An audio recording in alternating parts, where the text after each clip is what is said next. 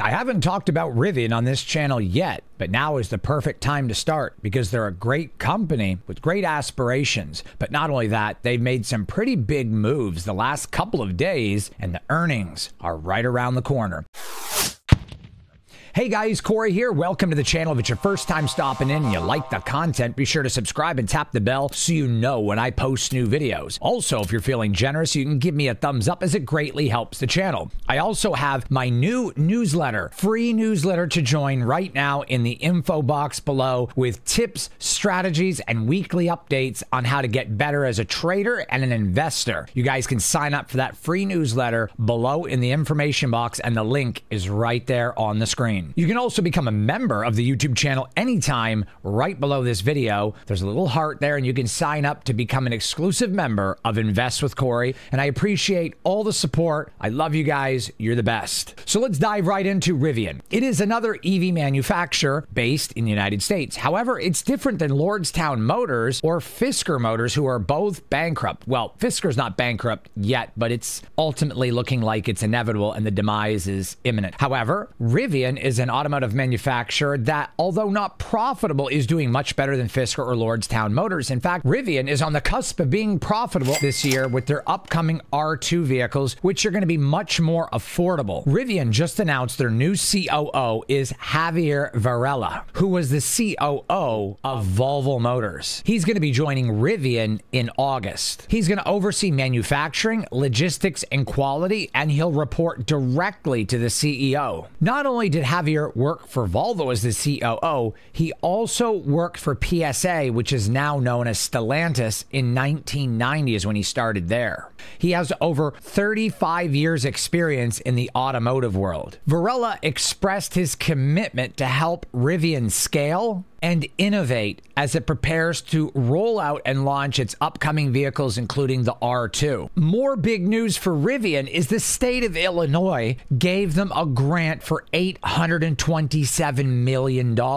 It's part of an incentive package to expand Rivian's operations. This is for the facility in Illinois where Rivian is going to be producing the new R2 vehicle. It's also an incentive to enhance factory and public infrastructure. This $827 million grant and incentive is also for Rivian's training and workforce. Rivian will also be involved in several city improvement projects as well. This is all part of Rivian's pledge to invest in the Illinois economy and community. Between Javier Varela as the new COO and the incentive grant from the state of Illinois, this is exactly what Rivian needs for the launch of the R2 this summer. It's everything we could have hoped for, showing a much better path and a quicker path to profitability with more experience and more capital to use in order to get there. I just want to point out that I'm not a financial advisor, and this is not financial advice. I'm just here to coach you guys on strategies, fundamentals, technicals, financials, and a general overall guideline on the market sentiment. It's ultimately up to you to decide which stocks you want to get into and what size of a position you would like to enter into that stock, as it's your money. The EV sector has been taking a beating lately, a pretty big beating. Fisker is almost bankrupt, Lordstown Motors is bankrupt, Rivian's been suffering, even Tesla's been suffering. NIO was down. Now they're back up again. Overall, the sector sentiment was rough, but now it's rebounding and recovering. But let's face it, EV demand might be down right now, but it's eventually going to work its way back up as EVs are the future. Hybrids are much more expensive to own and maintain than an electric vehicle. So at the end of the day, EVs are the future, even though we're in a rough time right now. In the United States, we have Tesla, Lucid, and Rivian. We already know Tesla is very successful. Now, between Rivian and Lucid, I believe that Rivian is the better EV company. They have better management skills, better money management. And with this $827 million incentive grant from the state of Illinois, that puts them way above Lucid, in my opinion. And now they've got the COO with the experience in order to bring Rivian into profitability and higher sales margins. Let's go ahead and take a look at the graph on Rivian, the technicals the fundamentals, and then how we could potentially get into Rivian. Because right now, I already have a pretty decent position in my large portfolio. And in my small portfolio, I have a very small position and I have puts for sale on Rivian as well as calls. I remember last year when Rivian was really high, it spiked in the $25 range. So I don't count anything here that happened in 2021 or 2022. That was all inflation and overly bought and overly sold, and everything was just up and down all over the place. I don't really consider the market recovering, you know, until at least January 2023. 2023 into 2024, market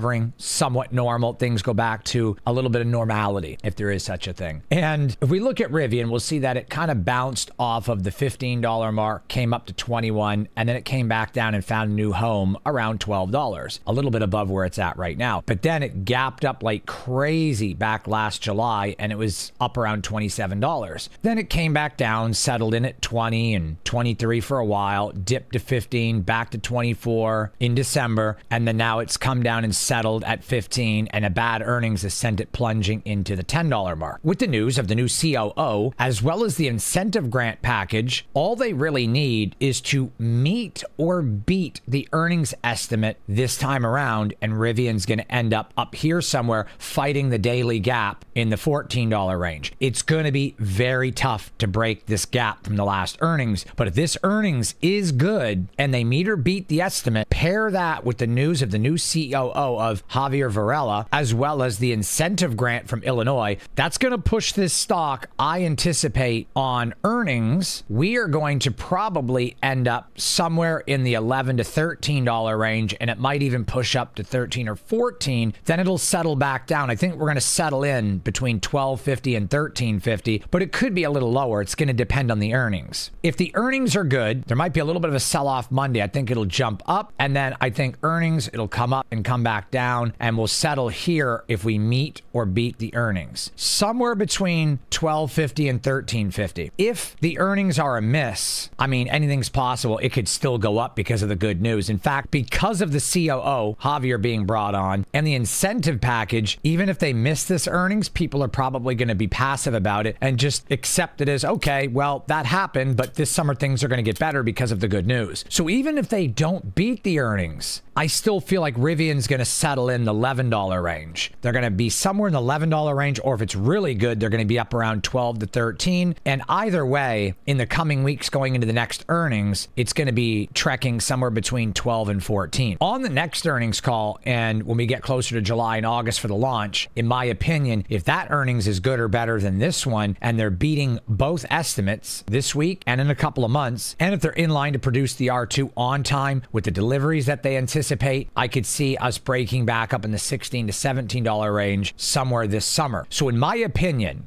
$10, Rivian's an absolute steal. Rivian is better than Lucid, in my opinion. They're way better than Fisker. Lordstown's gone. In fact, the only American EV company that is any competition to Rivian is Tesla. I think Rivian produces a great vehicle. They have pretty good management. They now have the COO to get them into profitability and keep things done in a timely fashion and keep things organized. But they also have the state of Illinois backing them up with the almost $1 billion incentive package, which is a grant. Ultimately, I expect Rivian to make this path right here. This is where I expect Rivian to go. I don't see it being a stretch that by this summer, Rivian's back up in the $18 range. Meaning, if you get in now, you could possibly get a 50 to 100% return by summer, not including the covered calls, which I will explain in this video how to do. First, let's take a look at the financials of Rivian. Total revenue in quarter two 2022, 364 million, all the way up to 1.32 billion. Great, very great growth. Gross profit negative 738 million. Yikes. Down to negative 681 million. So an improvement, but still worse than two quarters prior. Operating income negative 1.71 billion. Now they're up to negative 1.58 billion. So their operating income is still rough. Pre-tax income negative 171. Now they're up to 152. So they're definitely headed in the right direction. Net income negative 171, 1.71 billion to negative 1.52 billion. Again, going in the right direction, not where we want to be, but in the right direction. EBITDA, negative 1.55 billion. Again, negative 1.31 billion now. Headed in the right direction, but not anywhere close where we want to be just yet. Let's take a look at cash flow. So we're looking at cash flow from operation activities, negative 1.2 billion, up to 1.1 billion, a slight improvement. Investing activities, negative 359 million. Now they're at negative 603 million. Cash from financing activities, 57 million in profit. Now they're up to 1.62 billion in profit. Free cash flow is about the same, negative 1.56. Now they're at negative 1.41. So they're not making any money from their operational activities. Their investing activities, they're not making any profit from either, but they're purchasing investments and they have capital expenditures. So they're expanding. That's good. So this is the issuance of long term debt like security notes, bonds, and stuff like that, preferred shares. So they've made money from that, but they're still negative. With the new grant incentive, 827 million, that covers half of this. So they're only about 600 million away from breaking even. So with good R2 sales and over the next two quarters, they're going to be able to become profitable. Rivian is looking good. The technicals show a buy, the analyst ratings a buy, and one year price target is 15. My one year price target is 18, 18 to 20, but we'll see what happens. Either way, I'm in line with them that this price is a buy at $10 either way. So let me show you how you can get into Rivian. We have three options. Let's take a look at what those three options are. So with earnings this week, you can go ahead, click on sell, click on put. I would recommend selling a $10 put. I don't see Rivian going below $10. It could drop to $9. It could, or even 850, but it's hard to say, but I don't think that's going to happen. But if you sell a $10 put for $79, your break even price is $9.21. So even if Rivian drops to 850 or $9, you're really only going to be out $20, maybe $70. Not too bad because you're collecting almost $80 juicy premium. If Rivian stays above $10, which I expect them to do, you're getting $79 free money. The only problem with this is you're going to be richer if Rivian stays above $10 as you get to keep the juicy premium. However, you don't get the shares. And if Rivian goes up to $13 or $14, you miss the entry. So if you sell this $10 put and Rivian goes up to $14, I would immediately on Tuesday roll out and up to the next strike price of maybe $11 or $12 to collect more juicy premium. Let me show you an example on a put that I already have on Rivian. So this is one put that I have on Rivian currently. Let's say Rivian goes all the way up to like $14. That's good because this is worthless and I keep my $93. Amazing premium, juicy and amazing premium. It's all mine to keep. However, I'm not in the stock, which I already have lots of Rivian in my big portfolio. I have 5,000 shares in that portfolio and I have more shares over here. However, I want more. If this happens, I'm $93 richer of this beautiful juicy premium, but now I missed my entry. But let me show you how you can fix this. What we're going to do, if Rivian looks like they're going to stay above 10 or $11 or more, I'm rolling out and up to get assigned because I want to get in, especially because it's now the bottom, or it could very well be the bottom. And that's how you find the bottom with puts. You sell at the bottom. If you don't get assigned and the price looks like it's going to stay above your strike price, you roll out and up to the next strike price to collect more premium and to get in. This is my strategy and my my system and it works very well. Once you're at the bottom, if you miss the entry, you just keep rolling your put out and up. And then when the stock pulls back a little bit, you get assigned and then you may not have made it in at the bottom, but you've collected all that juicy premium to help offset. So what I will do is if Rivian ends up at $14, if I roll up because the same week, if I roll up to say 13, I'm going to end up collecting $268 premium and, get, and then I'm going to get assigned, hopefully. And if not, it's my premium for the taking because I don't care if I get assigned. It's all this extra premium that I want. So you see how I can roll out and up for more premium. So I have a $9 put. And what I suggest you guys doing is what I'm going to do. I'm going to watch Rivian. If it looks like on the day of earnings before the market closes around 3:30, 3:45 p.m., if I notice that Rivian is above $10.50 or closer to $11 and it's got good momentum, I'm going to roll out and up to $10, $10.50 or $11 depending on where the strike is. Because if I roll out and up to $10, I'm going to collect $43 more juicy premium. And the reason I'm going to do this is because if it's above $10.50 or above $11, even if the earnings are right at the expectation or slightly below, odds are Rivian will fall to $10 or $9.50. It's probably not going back to $9, honestly, which means I won't get assigned here, but I can collect more premium at the $10 mark or 11 and get assigned. If it looks to me like Rivian's going to close the day at say $11 or even $11.50, I I will roll to an $11 premium because odds are Rivian's going to go up and I think they're going to meet the expectation. If they at least meet it, then we're probably not going below $10. So I will go up to 149. There's a chance I'll do that and I will collect $112 juicy premium. And if I get assigned at 11, that extra $112 means I'm really only paying $9.88 and my original put was for $9. So in this situation, worst case, I'm losing $88. I'll just sell a covered call the following week or two and make it right back. So if we're going to sell a call, we're obviously going to sell it, say, 14 or $15 if Rivian's at 13. So realistically, the price right now is at $10. So we want to get an estimate, which means we'd want to see what a $12 call would be worth right about now, which is $25 a week. So if this happens and I get assigned at $10 or $11 and the price goes up to 13, comes back down to 10, and I'm like, oh, I got assigned at 11 instead of 9, even though I collected 112 juicy premium, basically $9.88, but I could have kept the $9 put at $9, meaning I'm out $88. Not a big deal because I can make about $25 a week selling covered calls. So if I sell four weeks of covered calls, calls, there's $100. So in three weeks to a month, I make that back. So no matter what, I'm not going to lose any money. That's how I handle this situation. Okay, so let's say you sell this $11 put for $112 and then you get assigned at $11. So $11 minus, which would be 1100 minus $112 is $988.